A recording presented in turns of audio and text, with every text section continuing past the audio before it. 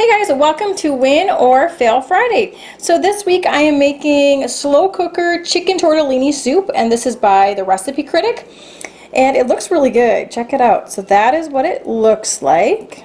These are the ingredients. All you do is throw everything in the crock pot minus the tortellini and that's all you do for six hours on low. All right, so I threw everything in. This is what it looks like. I have my chicken. I do have bone in and skin on, but um, I think that would add to the flavor. And after six hours, you take the chicken out and you shred it and then you throw the chicken back in. So I'm okay with dealing with the skin. It has celery, carrots, onion, Italian seasoning, what else? Bay leaves, six cups of chicken broth, what else? Some salt and pepper, I skipped the parsley and I also skipped the garlic. So those are just, just for personal preference for us. So that's the plan. I'm going to put the lid back on and keep on cooking on low. Here it is with the chicken shredded up in it. You can see it looks really nice, looks good. Smells really good.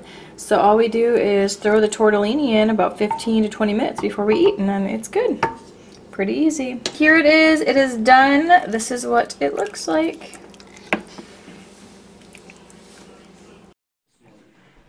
Here we go. There it is. What is it? What do you think, Evan? Does it look good? Yeah? And we've got some bread and some apple.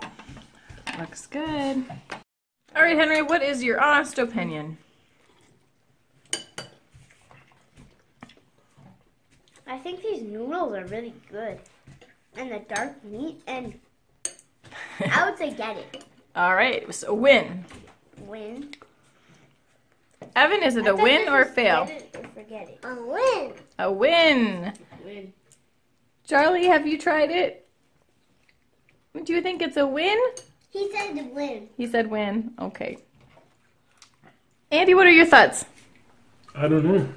I haven't formed an opinion yet. yes, you have. Say it. I don't really care for the noodles. They're garlicky. Yep. It bothers me. I don't like it either. But the base of it, the base of the soup is great. It's just like yep. chicken noodle soup. It's mm -hmm. really good. I should have just made noodles on the side and tossed those in. Yep. That would have been great. Except the noodles are bigger. But the kids really like the noodles. Mm -hmm. Oh, Charlie's trying a noodle. Are you trying a noodle? Do you like it? Is it a win? Yummy! So the kids love the noodles. Andy and I don't care for them because they are very strong garlicky. But I would say win if you're into the garlic, right? Yeah, or buy different ones that don't have the garlic in them. Maybe that's what I bought the wrong ones. All right, Henry, want to say thanks for watching?